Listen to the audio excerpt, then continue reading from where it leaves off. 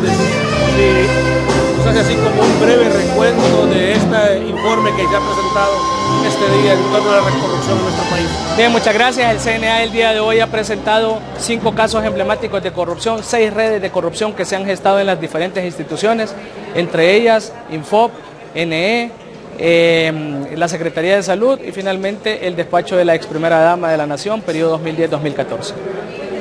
¿Desde cuándo se han presentado estos informes y por qué no hay una respuesta, sobre todo del Ministerio Público? Durante el tiempo que nosotros hemos presentado es entre 2014 y 2017.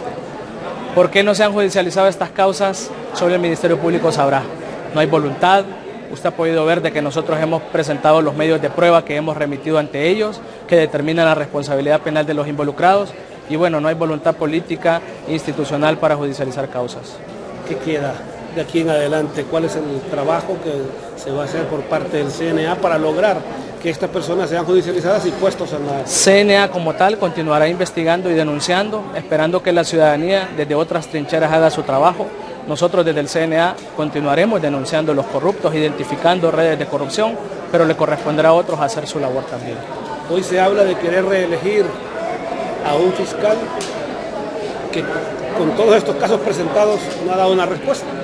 Bueno, nosotros como CNA creemos, de, no, no, no me pronunciaría yo sobre A o B como candidatos o si el fiscal es el idóneo, pero sí creemos que la persona idónea para ese puesto es una persona que tenga la voluntad, el coraje y el deseo de hacer un país totalmente diferente mediante la judicialización de las causas en contra de los corruptos.